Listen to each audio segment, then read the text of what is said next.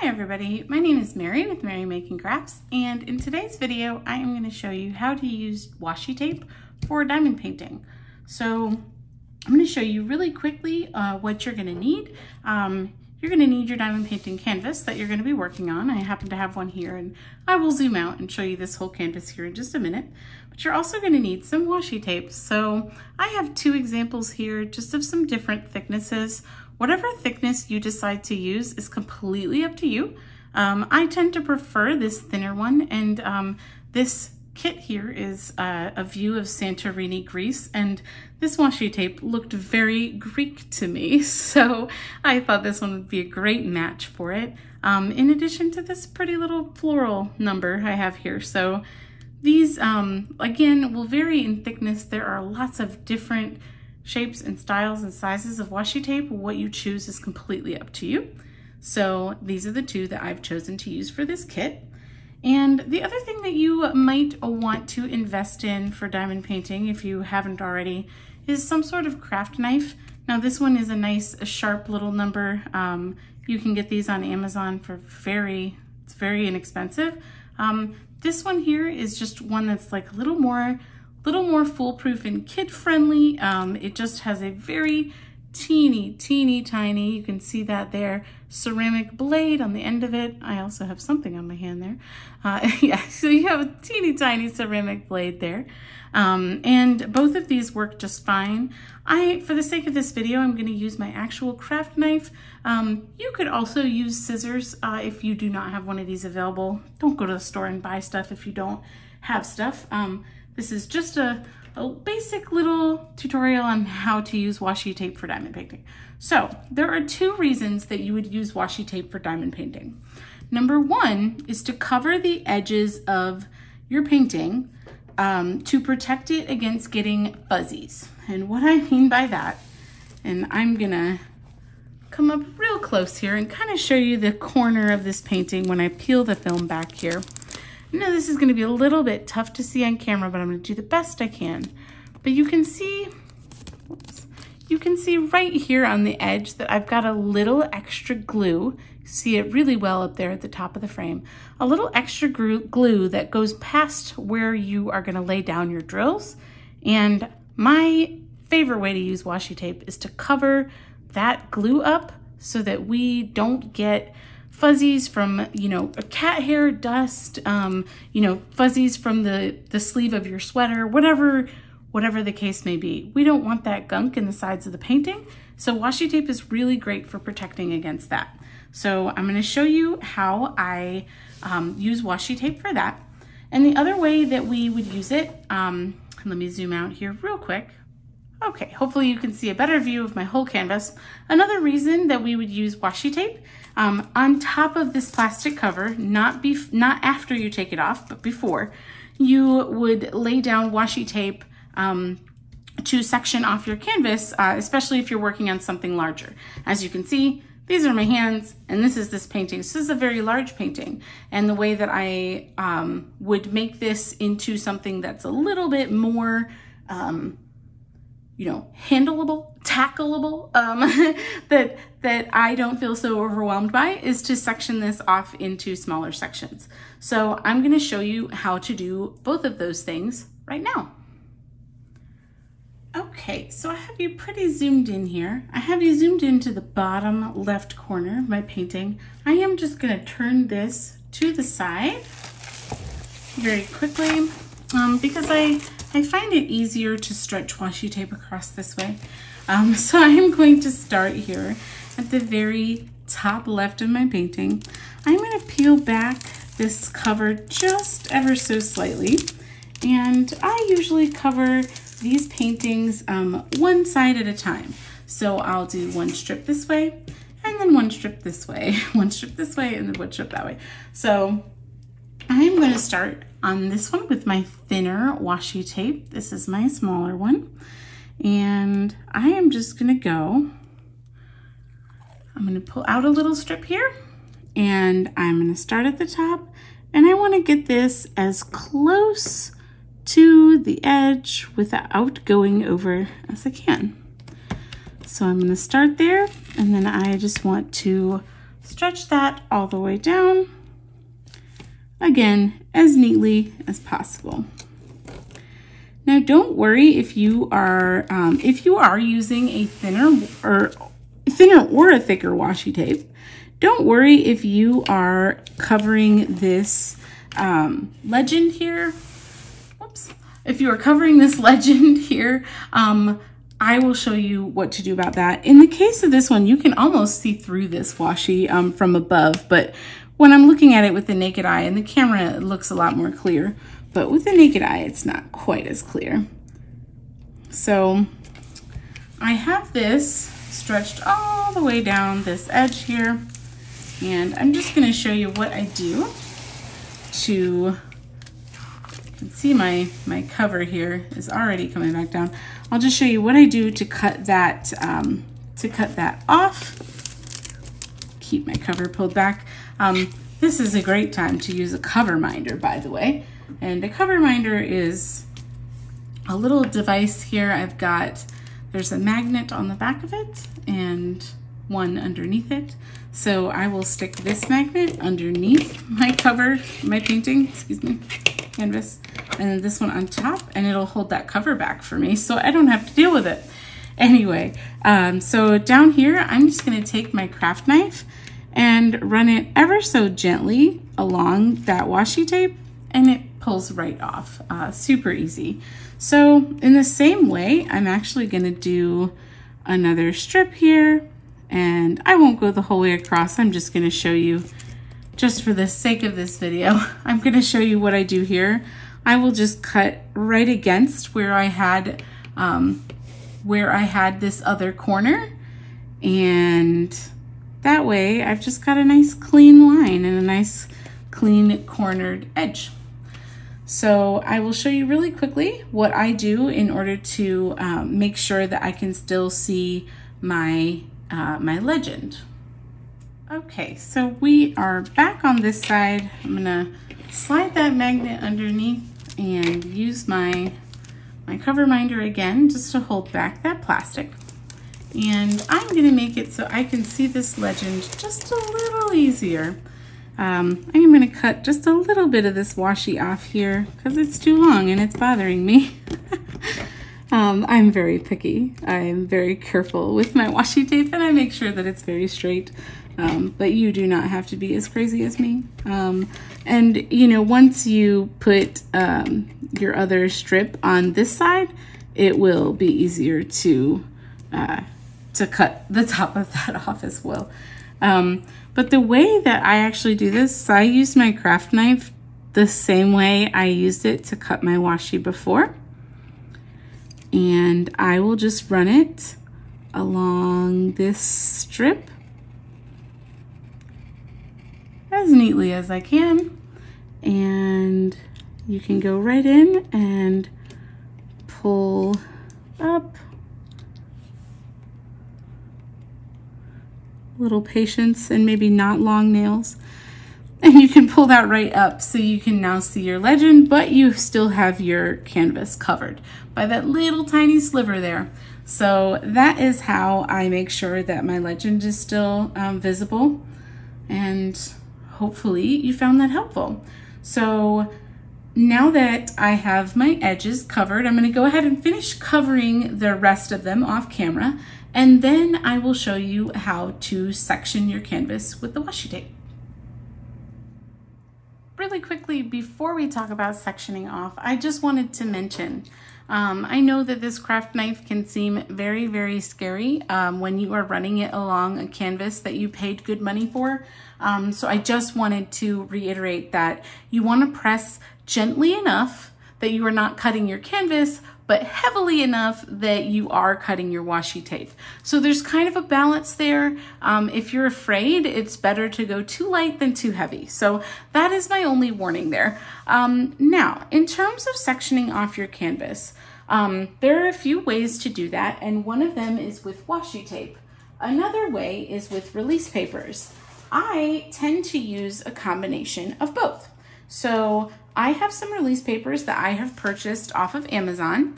This one is a four by six inch release paper and this one is, I believe, a five by six.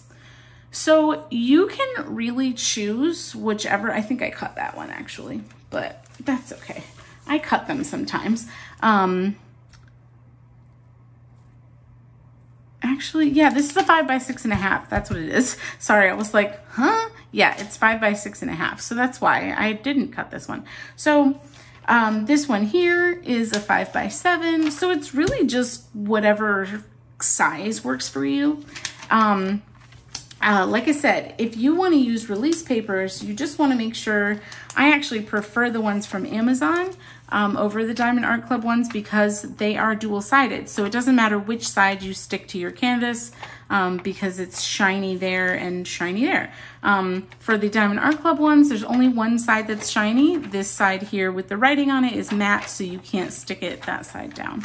Um, these also tend to curl a lot after you've used them, and I just, they're not my favorite. Um, the ones from Amazon that are dual-sided do not curl as much. So really the size of section that you want to work on is completely up to you. This is just the way that I section my canvas. Other people might section it a totally different way. But my favorite way to section a canvas is into quarters. And the reason I like doing that is because I like to measure my progress. And the best way to measure my progress, in my opinion, is to say, okay, I'm one quarter done. I'm halfway, I'm three quarters, or I'm all the way. So that's kind of how I like to section my canvas off. So what I will do is I will take my washi tape and I start at the center and depending on the way the painting is going, since this one is a landscape orientation from left to right, I will actually do my strips up and down this way. So I'm working my way from left to right on the painting. If I am doing a painting that is top to bottom, I like to work from top to bottom. Like, so if this were a portrait orientation, if it were turned this way, I would start, I would do the half this way and then do my top quarter my second quarter, third, and fourth. So it really just depends on what the orientation of the painting is. For me, um, it's just how I like to work on them. So in this case, I am going to just run a strip of washi down the very center of my painting and I eyeball it every time. I am not um, actually measuring it. I am measuring it with my eyes. So this looks like it's about halfway for me. Um, and I just, I run it along one of the lines in the painting. And that's about it. Uh, so that is my halfway mark. So I'm just gonna make sure that washi is, is settled there. And I'm gonna use my knife and cut it just gently enough that you're cutting the washi and not the not the canvas, and that's it. So now I'm gonna actually do my other two uh, lines to split these two in half, and then I have quarters for the whole painting. So I'll do that off camera here, and then I'll come back and show you what I do to get started. Alrighty, y'all. So now I have this canvas uh, nice and uh, sectioned off. Now, some people, um, I know I was mentioning some people only use washi tape and others will use, um, will use a combination of washi tape and release paper like I do. So if you are only using washi tape, um, the next uh, section or the next um, step for you might be to go ahead and run um, some vertical uh, sorry, horizontal lines, excuse me. These are, these are vertical. so the next step for you might be to run some horizontal lines across this painting. You could section it into another four, so you have like sixteenths. Um, it's really completely up to you what size you want your sections to be. For me, I use a combination of washi tape to section it into quarters, and then I will take my painting, so I'm gonna turn this to the side, and I'm gonna use my knife once again and I'm actually going to cut this entire strip off of the painting. So of, of the cover, excuse me. So what I like to do is use my craft knife again. Again, I am pressing very gently to make sure I am only cutting through the actual um, the actual plastic here and not the canvas. So I'm going nice and gently and I can kind of feel it. You can feel it cutting through that plastic. Um, I just ran my knife along the edge of that washi tape. And now I'm just gonna gently peel this part of my plastic um, completely off. And let me make sure I do have a little bit. There we go.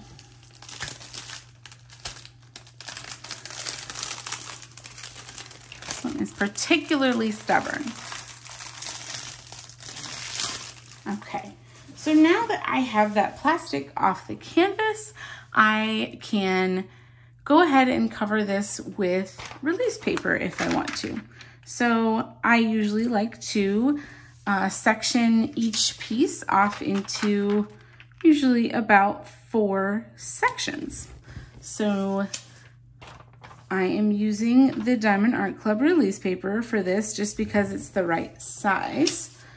And now I have four fairly even sections that I can work on. So I once I complete these four, then I'll move on to the next one. So again, this is my process. This does not have to be your process. You could choose, um, if you decide that you want to use your washi tape to do um, horizontal lines on here too, you could just use your craft knife and cut one section at a time. Like you could just cut this corner and then once it's done, cut that corner. Um, I just find that having to get my craft knife out and cut that plastic off all the time um, got to be too tedious for me, which is why I like to use the release papers. But what you want to do is completely up to you. But as you can see, that release paper peels off nice and easily.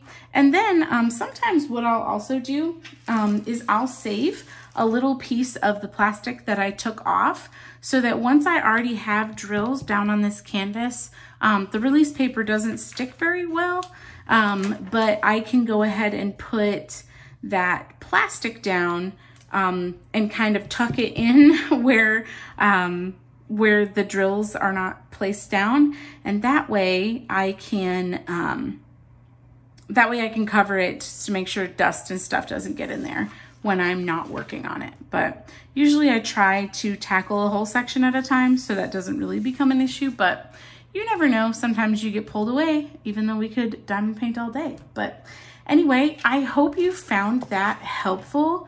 Um, and yeah, if you did, uh, I would love to have you here as part of my little tribe. Um, and I would love it if you would hit that subscribe button and give this video a thumbs up if it was helpful. And I will see you in the next one. Bye. Hey guys, so did you think we were done? Because we're not. Um, one last thing I just wanted to mention um, about keeping a piece of the plastic. So I have here a piece of the plastic um, that I had originally had on this section of the painting. And what I wanted to mention is if you do keep a piece of this, so let's say I had a bunch of drills down here and I um, and it wasn't I wasn't completely finished with this section and I needed to walk away. You want to save a piece of this plastic because this plastic is a lot more pliable and bendable. I'll get to this in a second. This, this plastic's a lot more pliable and bendable than this release paper and it'll actually stick in between where you've put those drills. Now, a lot of the plastic for these diamond paintings doesn't work um, both ways. So if I were to turn this around, it would be a lot harder stuck to my painting.